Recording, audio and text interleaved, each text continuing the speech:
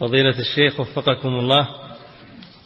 يقول حفظك الله يقول في قوله سبحانه وتعالى عن عيسى أنه قال تعلم ما في نفسي ولا أعلم ما في نفسك هل في هذا إثبات صفة النفس لله عز وجل؟ نعم بلا شك.